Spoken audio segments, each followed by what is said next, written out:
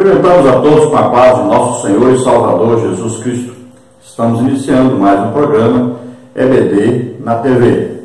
Este é um programa da TV Cidade Esperança, Imperatriz Maranhão, TV que pertence à Igreja Evangélica Assembleia de Deus, cujo pastor presidente é o pastor Raul Cavalcante Batista. Nós colocamos aí no início do vídeo, essa semana, uma manifestação de um demônio na hora de um culto. Estávamos orando por curas e nesse culto aí Jesus curou mais de 100 pessoas e o demônio veio para atrapalhar o nosso trabalho ali, veio atrapalhar as pessoas serem curadas. E aí o que acontece? Houve uma manifestação de demônios. Né?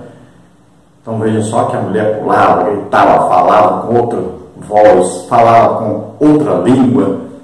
Estamos estudando nas revistas da CPAD as lições da Escola Bíblica Dominical com o tema Batalha Espiritual, o povo de Deus e a guerra contra as potestades do mal. Nós temos neste trimestre, como comentarista, o pastor Ezequias Soares, que é pastor presidente ali em Jundiaí, São Paulo. Eu sou o pastor Henrique.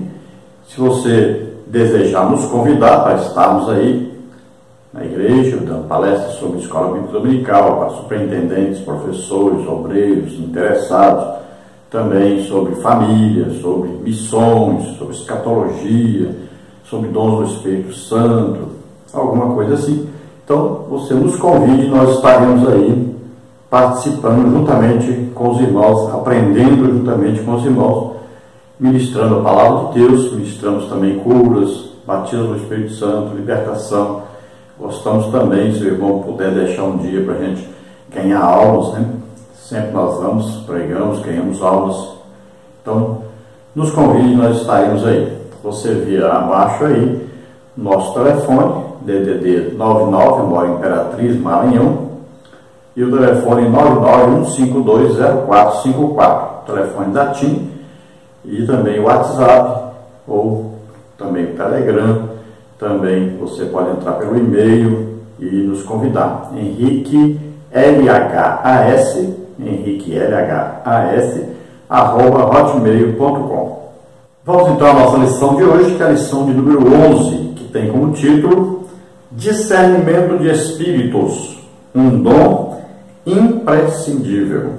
Então nós queremos lembrar aos irmãos que vão ensinar que nós estamos estudando sobre batalha espiritual. Então, a guerra espiritual. E as armas são espirituais.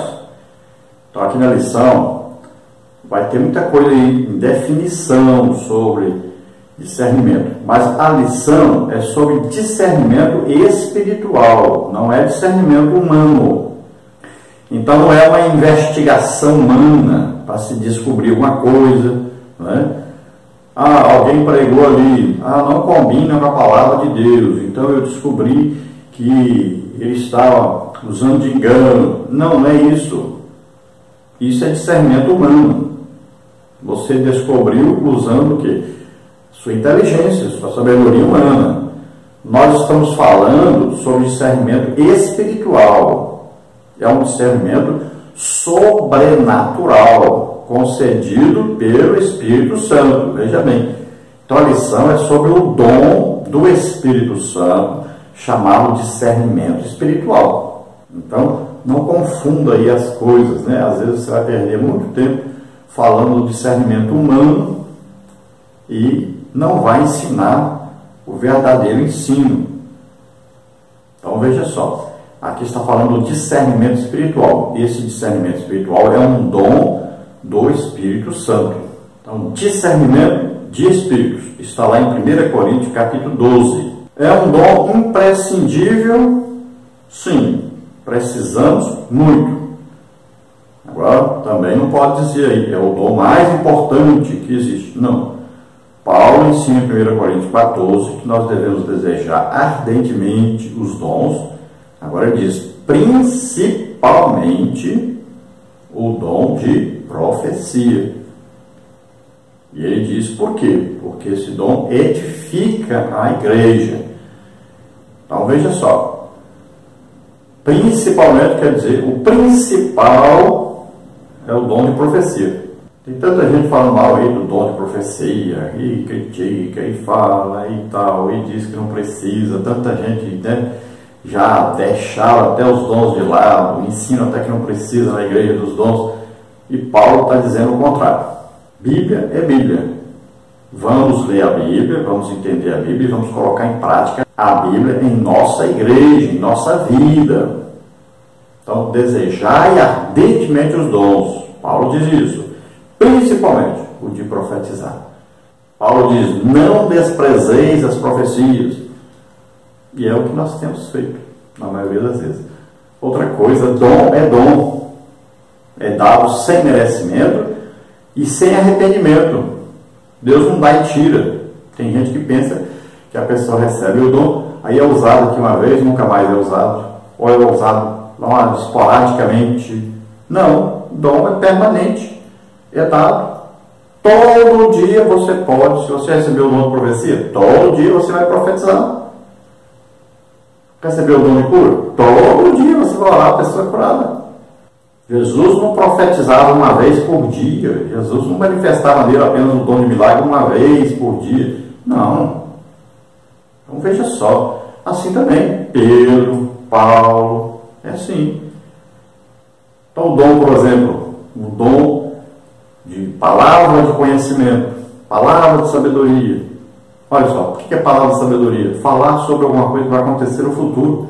Olha aí, o apóstolo João seus escritos estão cheios, olha só o livro de Apocalipse, tudo é uma palavra de sabedoria. Ele tinha um dom, palavra de sabedoria. Revelações de coisas que aconteceram no futuro. Temos que conhecer mais sobre os dons. Impressionante a falta de dons na igreja. Temos que buscar, temos que ser pentecostais realmente. Como é que pode um professor de escola bíblica dominical estudou a Bíblia a vida inteira, 20 anos na igreja, 30 anos, não ter um dom do Espírito Santo ainda. Isso é um absurdo. Que a pessoa durante 20, 30 anos nunca desejou, nunca buscou, nunca acreditou. Isso é um absurdo. Vamos ver o texto da nossa lição que diz: Mas o que é espiritual discerne bem tudo, e ele de ninguém é discernido. 1 Coríntios 2,15. Então aqui fala alguém que é o que? Nascido de novo, ele agora se tornou ser espiritual. Então ele passa a conhecer mais dentro do reino de Deus. Depois que ele é batizado no Espírito Santo, aí ele passa a conhecer muito mais ainda. Aí ele passa a ser mais espiritual ainda. E quando ele recebeu o dom do Espírito Santo, então ele passa a ser mais espiritual ainda. Isso é normal, isso é o correto de falar.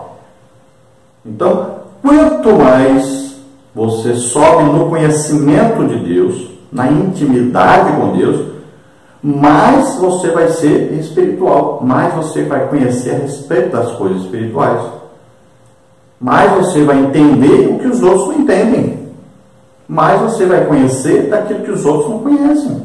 Isso é normal. Assim como a Bíblia, você quanto mais você lê, mais você vai conhecer. Quanto mais você estudar, mais você vai saber. Isso é normal. Então você vai comparar irmão com outro vai dizer, ah, esse irmão aqui sabe muito mais a Bíblia do que aquele. Olha aí. Então, maior conhecimento bíblico que tem.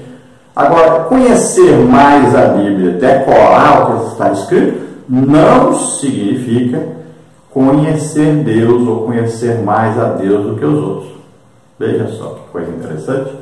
Se comparar aquele irmão com outro que não tem um dom, então é evidente que ele está acima espiritualmente do que aquele que não tem, porque ele conhece mais coisas espirituais do que aquele.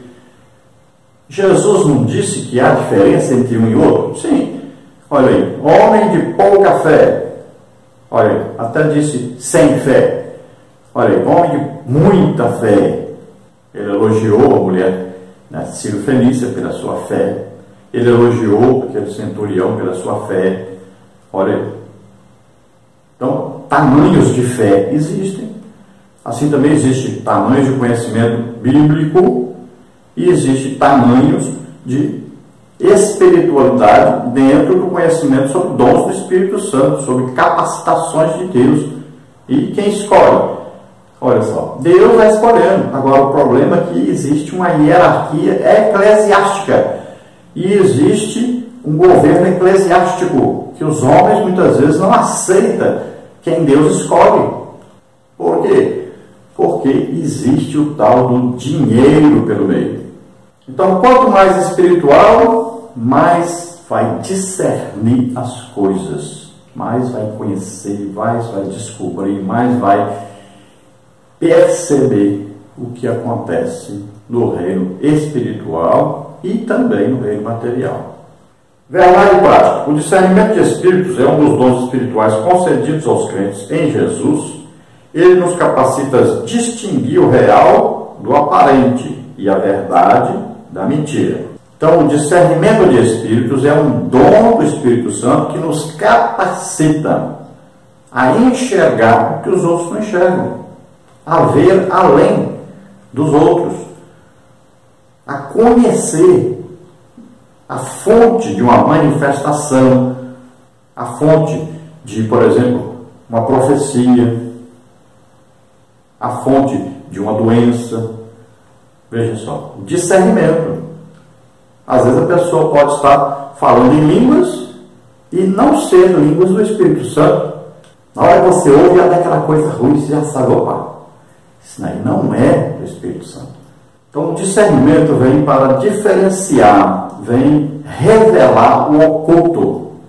Agora, se você descobrir isso naturalmente pela sua inteligência ou por uma investigação humana, não é discernimento do Espírito. Então, o discernimento é dado sobrenaturalmente. Veja bem, é dado pelo Espírito Santo. Nós estamos falando de discernimento dos Espíritos de espíritos, coisas espirituais, enxergar o reino espiritual. Então nós vamos dar um exemplo clássico aqui no Antigo Testamento para você entender bem claramente isso. Olha bem, vamos ler aqui uma passagem aqui do segundo livro de Reis, falando aqui sobre o profeta Eliseu e o seu servo, o que aconteceu. Olha, segundo livro de Reis, capítulo 6, versículo 10 em diante, diz assim: Por isso o rei de Israel enviou aquele lugar de que o homem de Deus lhe dissera e de que eu tinha avisado, e se guardou ali, não uma nem duas vezes. Então se turbou com este incidente o coração do rei da Síria, chamou seus servos e lhes disse: Não me farei saber quem dos nossos é pelo rei de Israel? E disse um dos céus: Não, ó rei, meu senhor.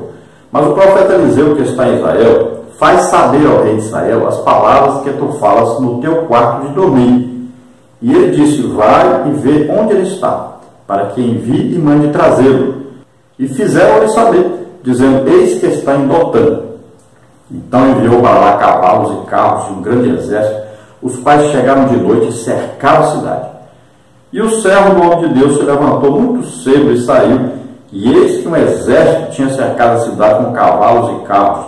Então seu servo lhe disse: Ai, meu senhor, que faremos? E ele disse: não temas, porque mais são os que estão conosco do que os que estão com eles. E orou Eliseu e disse: Senhor, peço-te que abras os olhos para que veja. E o Senhor abriu os olhos do moço e viu. E eis que o monte estava cheio de cavalos e carros de fogo em redor de Eliseu. E quando desceram a ele, Eliseu orou ao Senhor e disse: Fere, peço-te esta gente de cegueira. E feriu-a de cegueira, conforme a palavra de Eliseu. Então aqui está um exemplo clássico, né, fácil de entender. Olha aí. O moço não enxergava o exército de Deus, Eliseu enxergava. Então Eliseu orou e pediu para que Deus abrisse o olho do seu céu.